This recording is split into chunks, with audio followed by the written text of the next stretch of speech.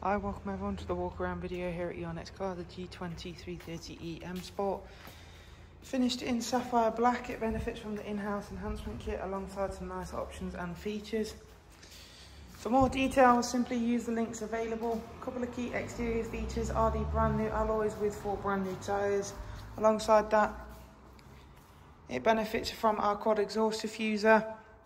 It also has got the M Plus package so that gives you the plus brakes, adaptive dampers and rear privacy glass. We've also got some nice interior options which we'll come to shortly.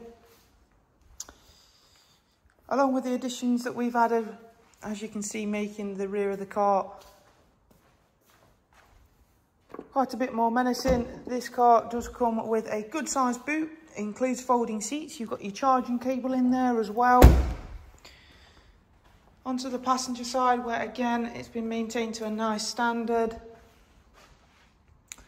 Inside you've got black and grey highlight leather. Full three seat Isofix rear bench.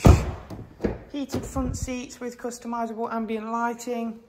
You've got Harman Kardon audio as part of the tech pack along with wireless charging tray and a head-up display we'll go around and take a close-up look at now.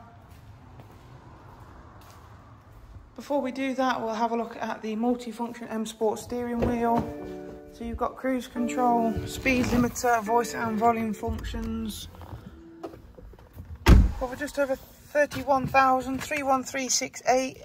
You've got heated steering wheel, touchscreen nav, telephone audio, Apple CarPlay, Android Auto, DAB, music collection, screen mirror and USB line in.